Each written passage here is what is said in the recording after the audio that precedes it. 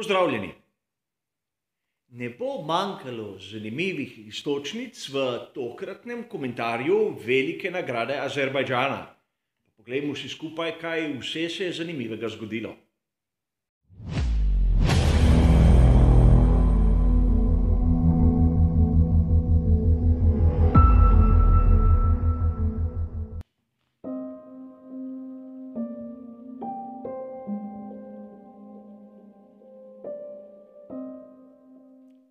Začetku tega prispevka bi rad posvetil nekaj trenutkov velikanu Formule 1, ki nas je zapustil danes.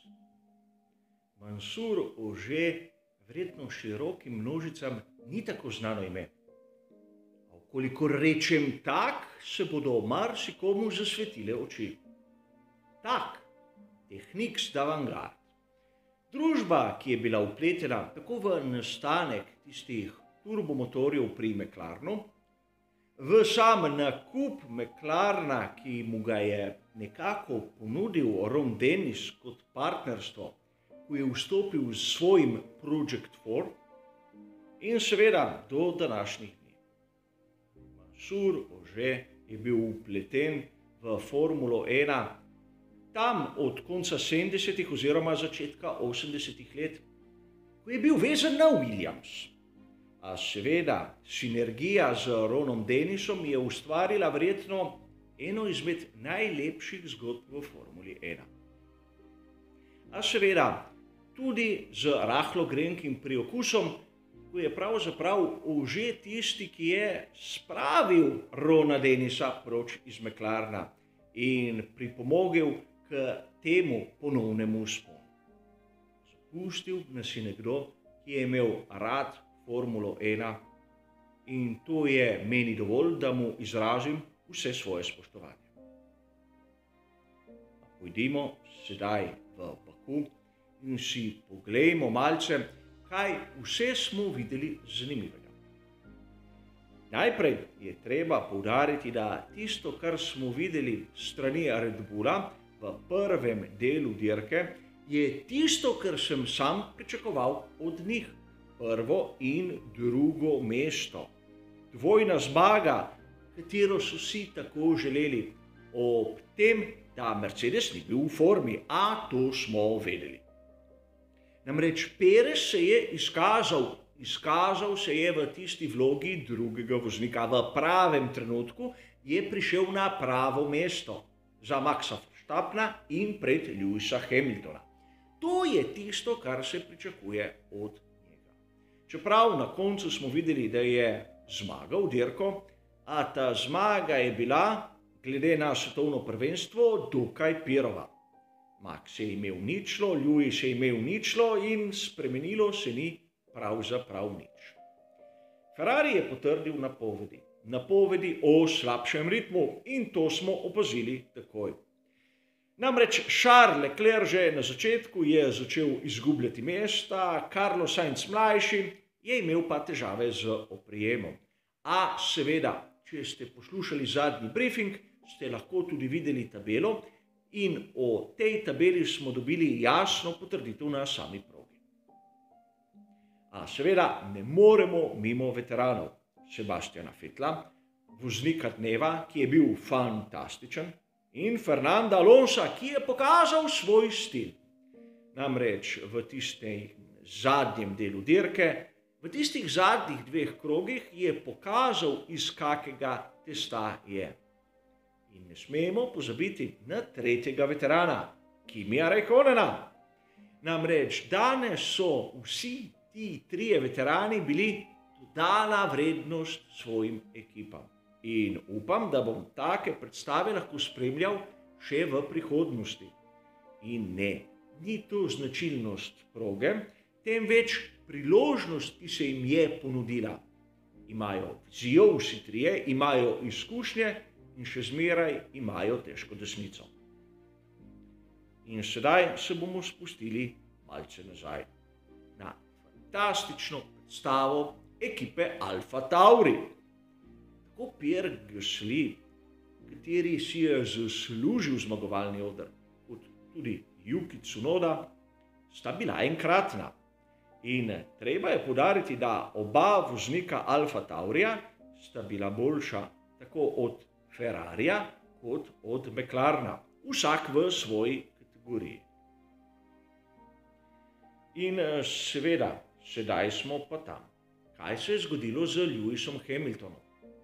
Namreč, kolikor smo pravzaprav pošteni, dirka Lewisa Hamiltona je bila fantastična. Namreč v prvem delu je celo prevzel vodstvo, imel je težave na postanku, a to se zgodi. Vrhu vsem onim, ki mislijo, da ima težave le Valtteri Botas. Pa tudi ko je bil tam na tretjem mestu, je v bistvu branil svojo pozicijo iz strateškega vidika, je imel fantastičen rezultat.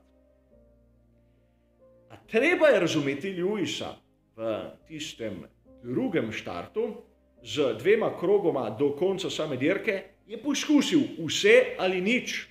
To je njegov karakter, karakter zmagovalca in zato je dosegel vse zmage. Seveda, ni se išlo in izgubil ni nič. Razlika med njim in Maxom je ostala nespremenjena. In Max se je opekel, a o tem bomo govorili, seveda, pri strategiji. Namreč pneumatike tudi danes so pokazale, da ni preveč modro igrati proti Mercedesu. A o tem se bomo pogovorili čez nekaj trenutkov. Namreč, zopet moram poudariti bledo predstavo Valterija Botasa. Namreč skozi celotno dirko ga ni bilo opaziti. Nekateri drugi vozniki so imeli svetle trenutke, a Valteri pravzaprav kot da ga ne bi bilo. In ima na razpolago Mercedes, ki na tej progi v Bakuju seveda ni bil v prednosti, a vseeno ni bil tako slab. In sedaj se bomo vrnili na tiste strategije. Namreč, kolikor pogledamo mojo napoved in napoved Pirelija, bomo ugotovili, da pri tistih dveh strategijah z enim postankom smo dokaj blizu. Priznam tu, da sem spregledal, koliko bolidov je imelo še na razpolago dva seta hard pneumatik. Zato sem dal nekaj vprašajev na tisto strategijo, kjer bi začeli s pneumatiko soft ter imeli dva dela na hard. Sveda na papirju je bila izvedljiva in ena izmed najbolj varnih. A seveda moja napaka in napake je treba priznati. Pri Pireliju niso bili takega pogleda, pri strategiji z dvema postankoma, a pustimo sedaj to. Poglejmo, kaj se je zgodilo v realnosti. In videli bomo, da tudi ekipe so pravzaprav sledile tistim napotkom, ki sem jih dal sam in seveda pred menoj Pirelli kot bolj avtoritativen vir. A tu se je pojavilo tisto, na kar sem opozoril že pri lastni strategiji. Vprašaj pri tako dolgem delu na tisti najtrši pneumatiki. Sam nisem bil prepričan, da bo pneumatika zdržala in ni zdržala, niti pri Lensu Strolu, seveda tudi ne pri Maxu Verstappenu. Zakaj ni, ne vem. Imam premalo podatkov, kaj se je pravzaprav zgodilo, in tu velja udariti nekaj, da tako popuščanje pneumatike je nepredvidljivo. Lahko se zgodi pri bolidih čisto drugačnimi lastnostmi. A seveda, videli smo, tu še nekaj, kar je seveda bistveno. Mnogi izmed vas ste opazili, da sem izjemno kritičen do Mihajla Masija in tudi tokrat bom. Ne zaradi tega, ker je ustavil dirko praktično tri kroge pred koncem. Kritičen sem do njega, ker je toliko časa obotavljal in ker so mu drugi sugerirali, naj ustavi dirko je direktor dirke Formule 1 in ne vzgojitelj v vrtu. Namreč on mora biti tista avtoriteta, ki skrbi za varni potek dirke in mora skrbeti za to, da se nikomor ne bo nič zgodilo.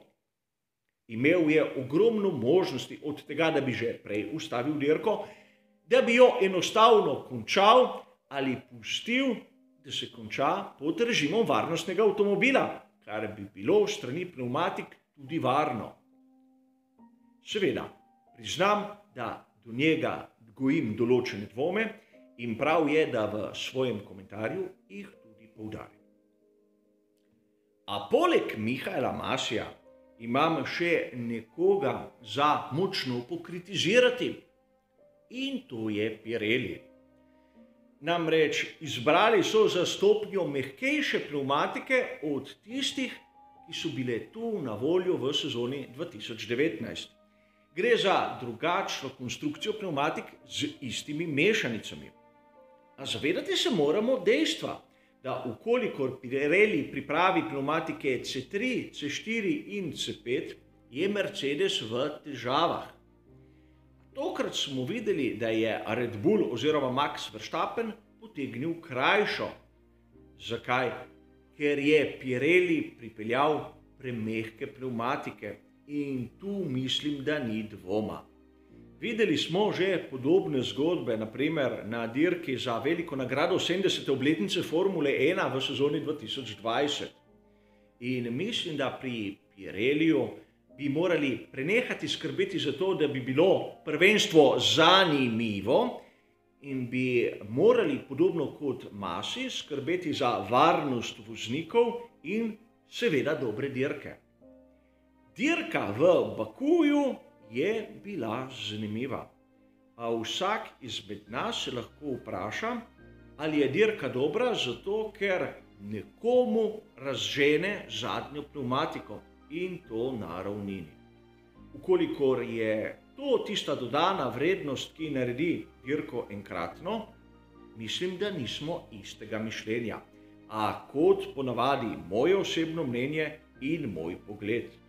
Verjamem pa, da bi se marsikdo dolgočasil, če ne bi bilo toliko dogajanja.